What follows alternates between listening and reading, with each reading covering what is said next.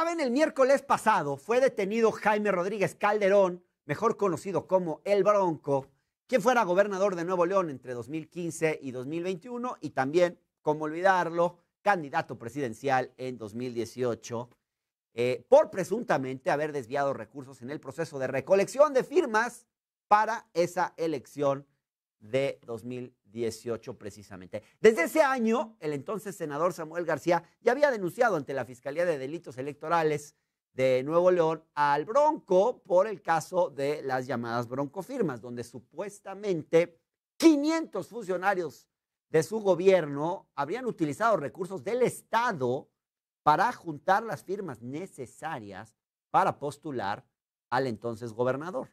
Finalmente, la Fiscalía de Delitos Electorales del Estado pues ha actuado para detener a Jaime Rodríguez Calderón. ¿Estamos ante un genuino caso de lucha contra la corrupción? No necesariamente, porque esta detención repite muchos de los vicios de la clase política mexicana con ese afán de convertir en un show mediático las detenciones y violar el principio de presunción de inocencia y que muchas veces precisamente es lo que hace que las investigaciones judiciales por presuntos casos de corrupción se caigan. Porque sí, la captura de Jaime Rodríguez parece insertarse en esa larga tradición de detenciones espectaculares en las que lo que se busca es dar golpes políticos y mediáticos más que armar casos sólidos capaces de ser llevados ante la justicia. Los antecedentes son muchos. Recordemos, por ejemplo, digamos, estos golpes mediáticos, ¿no? Eh, Miguel de la Madrid encarcelando a Jorge Díaz Serrano, líder de Pemex, Salinas de Gortari metiendo a la cárcel a Joaquín Hernández Galicia Laquina, Ernesto Cedillo yéndose sobre Raúl Salinas, Enrique Peña Nieto con el Vester Gordillo o incluso con el ex gobernador de Tabasco, Andrés Granier. En Nuevo León, por cierto, no es la primera vez que esto que estamos viendo con el Bronco ocurre.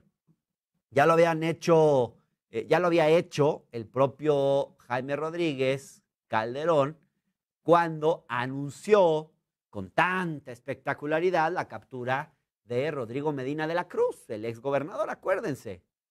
Bueno, como pueden ver, hay una larga tradición de fingir que se combate la corrupción con espectacularidades, eh, digamos, deteniendo a un funcionario público, unos cuantos días, unos meses quizás, en fin, pero el problema con esta exhibición mediática y política eh, de los exgobernadores en este caso es que debilitan los casos al exponer innecesariamente a los acusados. Innecesaria y yo diría que indebidamente. En el caso del Bronco es evidente que no se hace un uso correcto de la imagen de Jaime Rodríguez cuando se difunden imágenes del exgobernador preso con su número de detención en la celda y cuando el propio Samuel García sale a declarar que quien la hace la paga.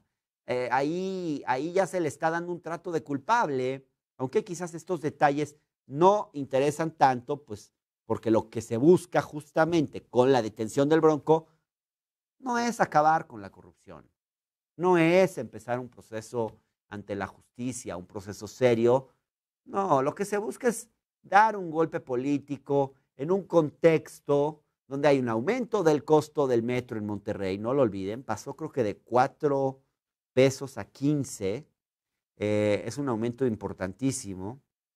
Eh, creo que si tienes una tarjeta te sale más barato, pero ese es el costo del boleto y no toda la gente tiene la posibilidad de comprar esta tarjeta porque son muchos viajes.